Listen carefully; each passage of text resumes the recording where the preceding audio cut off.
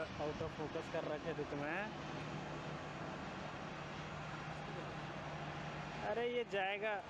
इसका कवरेज करा रहे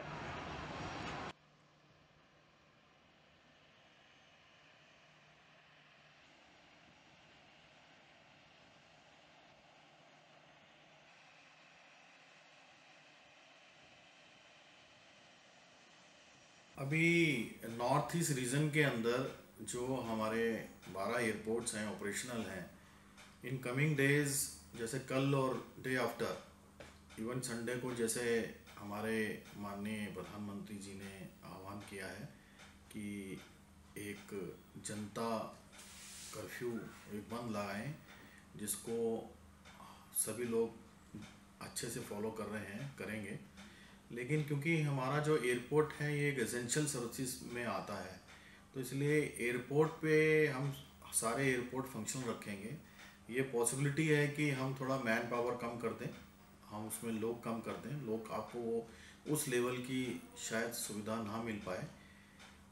लेकिन हमारा अभी तक जो प्लान है किसी भी एयरपोर्ट को बंद करने का, ऐसा कहीं से भी प्लान नहीं है।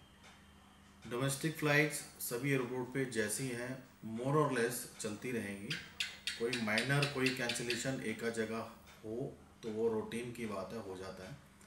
लेकिन सभी एयरपोर्ट फंक्शनल रहेंगे और बाहर भी जहाँ तक अभी हमें इंफॉर्मेशन मिली है कि आउटसाइड भी टैक्सी वगैरह भी मिनिमम जो है आ, मिल जानी चाहिए। ऐसा नहीं है कि बाहर टैक्सी वगैरह नहीं मिले। फिर भी हम राज्य सरकार से प्रशासन के टच में हैं कि क्योंकि अगर हम एयरपोर्ट चला रहे हैं पैसेंजर्स आते हैं तो उन्हें बाकी, बाद में जाने में प्रॉब्लम ना आए। और इसके अलावा, अभी तक नॉर्थ ईस्ट रीजन के अंदर सेफेस्ट जोन है, यहाँ पे कोई भी पॉजिटिव केस नहीं मिला है। और हम, हमारी कोशिश यही है कि यही स्टेटस रहे। सभी एयरपोर्ट्स पे नॉर्थ ईस्ट के 100 परसेंट स्क्रीनिंग चल रही है, जो भी कोई पैसेंजर आता है। उसकी हम स्क्रीनिंग कर रहे हैं। गुवाहाटी एयरपोर्ट पे स्पेशल थर्मल इमेजिंग कैमरास भी हम यूज़ कर रहे हैं, जिससे कि पैसेंजर्स को कम से कम असुविधा हो, लेकिन अच्छे से स्क्रीनिंग भी हो जाए।